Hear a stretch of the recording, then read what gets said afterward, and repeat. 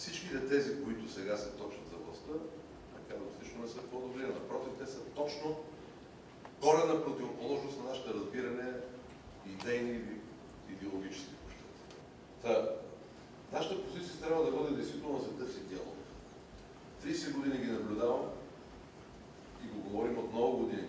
Крайно време българин с българина да намери общ език и да говори, а не да вади нож.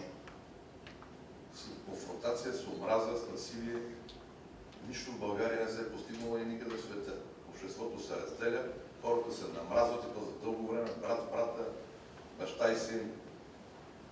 Разделението на обществото ползва една група политици, всъщност ползва тези политици, срещу които ние говорим, защото те се заграждат по една кошарка от послушковце, викайки в началото долу ПКП, другите пък от ПКП, страхувайки се, че ако другите дойдат, ще ги подгонят, се групираха в червената кошара, след това на монархисти републиканци, сега на гербаджи, антигербаджи.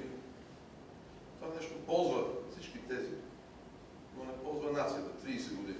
Кажете ми, този модел 30 години нещо полезно направи България. От 9 милиона на 1 януари 90 година, сега сме под 7 милиона. Неграмотността нараства. И то след българското население. Нивото на тотално спада. Това е пътя, по който вървим 30 години. Това е пътя, който ни предлагат едните и другите.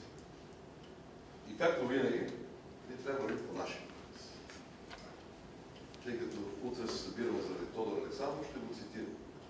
Примерно, обръща своите погледи нито на изток, нито на запад. Тя се обрекла на освобождението на Македония и обединението на българското племе. Точно. Ние имаме право на свое мнение и не мога да се съгласа, че някакви кресливи ултралиберали, наричайки себе си демократични или не знам си какви, ще ми отнемат правото аз да говоря.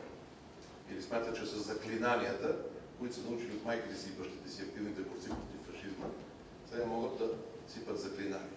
Ние сме тръв в очите и на едните, и на другите, защото не мълчим, защото има един по-различен модел на мислене, защото за нас националният интерес при нас всичко и не сме съгласни да се правят компромиси и да сме ги